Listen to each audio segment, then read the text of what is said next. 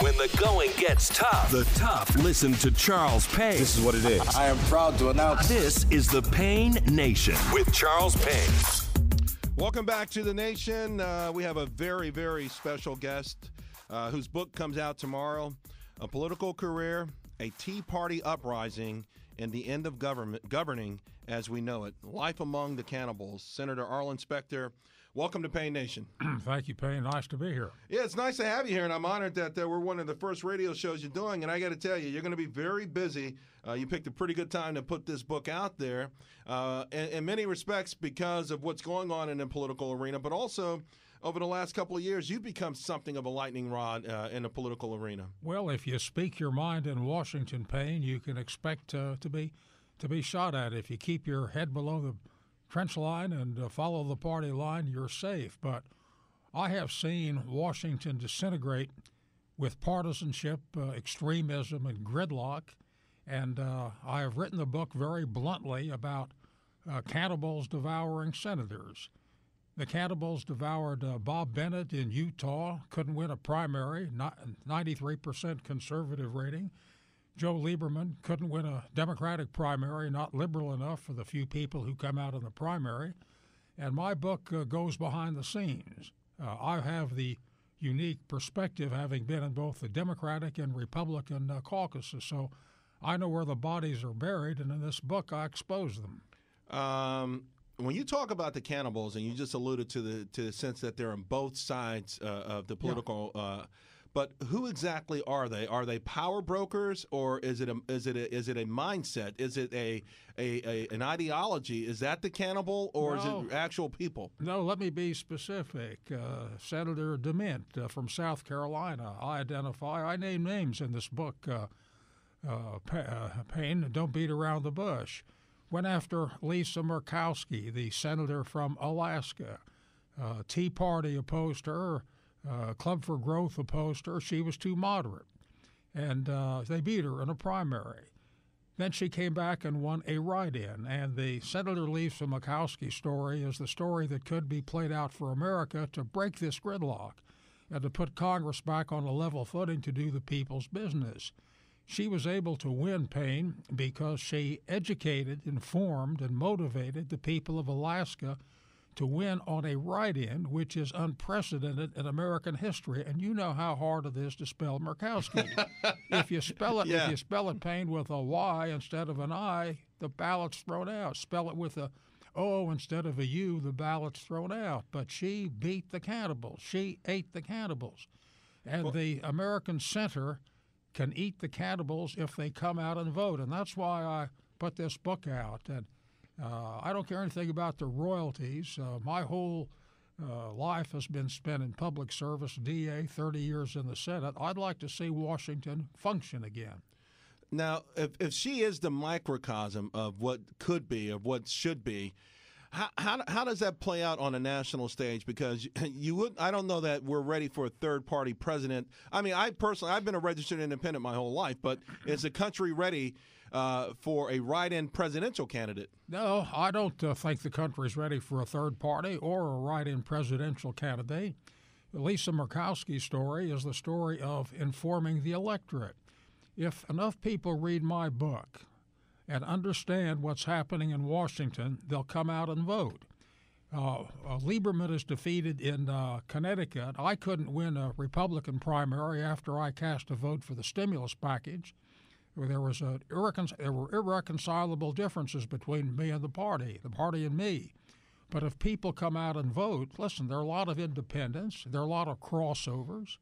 People want governmental officials who are willing to compromise. When the Tea Party runs on a platform of not to compromise, when uh, McConnell, the leader of the Republicans in the Senate, says that it is the Republican caucus agenda to defeat Obama, people don't like that. But isn't that isn't that what the Republicans want to do? No matter who the president is, ultimately defeat the president. Yeah, but they all defeat him by, by having policies and a legislative agenda which is superior to his.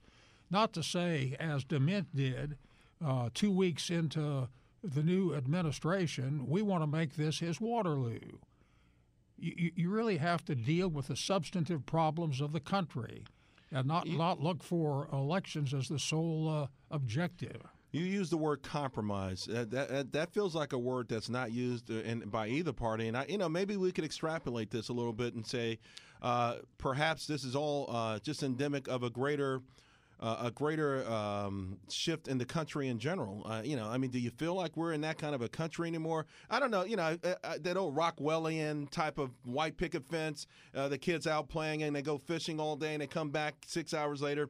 It doesn't even feel like we live in that world anymore. Well, if you go to Washington on the extreme right or extreme left, and feel you have to stay on the extreme left, for example, as the Tea Party does, or else you'll be beaten in a primary as uh, Mike Castle was in Delaware by a woman who had to defend herself as not being a witch, and as Bennett was and Lieberman was, you're you're you're going to look for self-preservation. You're going to vote against everything, but you don't you, you don't move ahead. You don't have programs to put people uh, to work. Uh, you don't have programs to deal with with health and uh, national institutes of health funding. You don't deal with the people's problems. You can't have a gridlocked government and succeed as a country. A political career, Tea Party uprising, and the end of governing as we know it, life among the cannibals. Senator Arlen Specter. Um, having having said that, though, um, you were, and you just uh, talked about how long you were in Washington.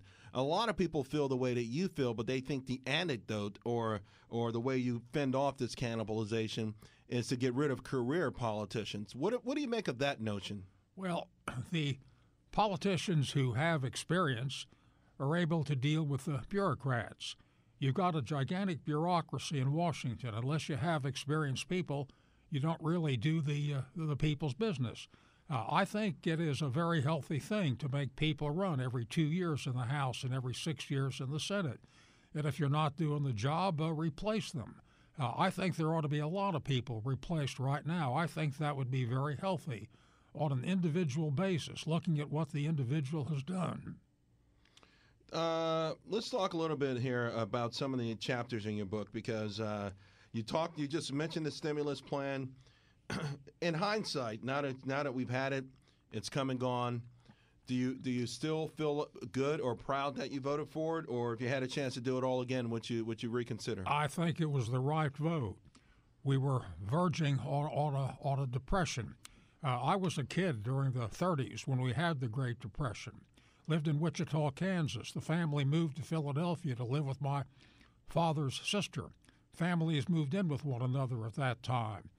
And when I took a look at the economic situation, uh, I was persuaded that we were on the brink of that kind of a depression, losing a lot of jobs, really tumbling downhill.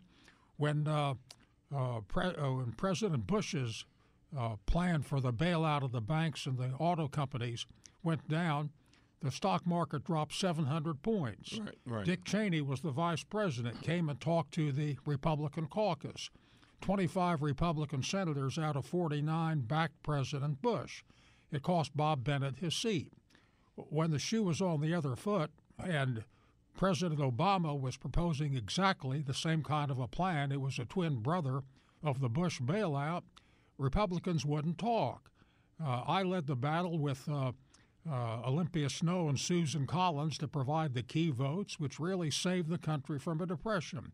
The economists are all writing to uh, the conventional wisdom is that we would have had uh, a depression in the United States and perhaps worldwide. And, and that and that incident uh, apparently was the last straw for you, or maybe one of the last straws, as after 44 years of being a, a, a GOP not just a member but a leader among in the party, you switched to the Democratic Party. Well, I changed to the party because the Republicans would not uh, support my reelection effort.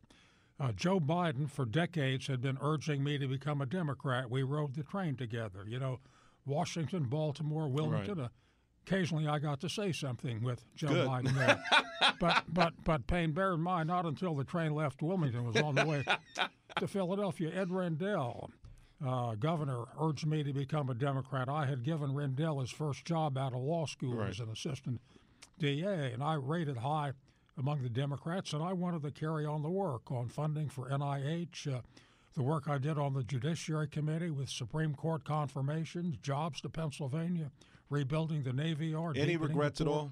No, Not I- not a shred of regret. I mean, that's a hard. That's like a divorcing your wife of forty five years. Uh, I, I, I mean, that's a serious. And people are still upset with you. I've been married longer than 45 years, uh, Payne, and I'm not about to divorce my wife uh, because uh, we both do the, the right thing. But I knew when I cast the vote for the stimulus that I was placing myself in political peril. And it worked out to cost me my seat, but I didn't go to Washington to preserve my seat. I went to Washington to do what I thought was right. And uh, that vote uh, was right, has turned out to be right, and uh, uh, I'm prepared to uh, take the consequences. Uh, you just talked. You just mentioned a minute ago the Supreme Court. You you taught a class at University of Pennsylvania Law School on a relationship between uh, Congress and the U.S. Supreme Court. I would I would imagine that this particular case on the health care law uh, might be. Um, one of the greatest examples of some of the things that you talked about in that course. Right up, right up my alley. Right, uh, right up your alley. How you feeling about it? Well, I think it's constitutional. It's a legitimate exercise of the Commerce Clause. Listen, when uh, Medicare was passed, nobody liked it. When Medicaid was passed, nobody liked it. Social Security draw a lot of objections. When uh, uh, you can't judge by the temper of the times. When President Ford pardoned President Nixon, there was an uproar. It was scandalous. Now it's viewed as one of the great acts of uh, in American history of, of, of healing the nation. Now, you will admit, though, Social Security, Medicare, Medicaid, those are uh, like hanging over our economy like the sword of Damocles. Uh, there, you know, and the thing is, at this point, to your point, people like it to the point where they don't even want to make adjustments, and uh, that could actually sink our nation. So, I mean, if you look forward far enough, uh, maybe the pendulum swings back and forth a couple of times. Well, there are ways to cut back the costs of Medicare. Uh, this uh, health care program will deal effectively with reducing costs. You can't judge the book by the cover on the Affordable Health Care Act, so called Ob- Obamacare. Uh, but uh, because the uh, current mood of the times is not favorably disposed, listen, I had town meetings. Uh, I went to uh, Lebanon, Pennsylvania when the thing was the hottest. I make it a practice to go to virtually every county every year. Uh, a guy stormed me, stuck his uh, fist right in my face on the front page of the New York Times the next day, and people's tempers were, were very, very high. Uh, but even at that time, when I asked people, and I had a dialogue with them, would you like to get rid of Medicare? Oh, no, no. Want to get rid of Social Security? Well, of course not. Uh, we, we need to restrain the costs of those items, but it doesn't mean that you're going to throw the baby out with the bathwater. We're, we're, we're running uh, you know a little bit past, but this is uh, fascinating, and I and I've, I'm really honored to meet you. Um, we've talked about all of this. We talked about Washington. We talked about the cannibals, and we talked about the tough decisions which aren't being made. Will it take a very special politician to get this done, or will it ultimately have to be one political party that gets control of the White House and you know both hou- uh, the Senate and the House to make sort of changes that are needed or perceived to be needed because we are in trouble, and, and it feels like we are riding along that same path that Greece is on or and other countries. Payne, none of the above. What it will take is an aroused electorate, like the Alaska electorate, which was madder than hell that uh, the Tea Party defeated Lisa Murkowski in the primary, and they came out and did the near impossible on a write in. And if you have an aroused electorate, you'll get a Congress which will eliminate gridlock and partisanship. That's why I wrote this book, Right. Payne. Took a couple of years. It's available tomorrow. Uh, Amazon.com or Barnes & Noble are on the book stand. If enough people read this book and if people will join me in insisting on having the people vote, this country will get back on track. Before we go, uh, again, you, one of your sec, one of your ca- chapters is on red meat. It seems like the only way people are motivated these days are through negative campaigning and red meat. How can you get the public involved without igniting or even empowering the cannibals even more? by pointing out what Senator Lisa Murkowski did in Alaska. You you have the great word. I'm going to pick it up and use it. I'll give you credit uh, when you said microcosm. you got to turn Lisa Murkowski into the macrocosm. Okay.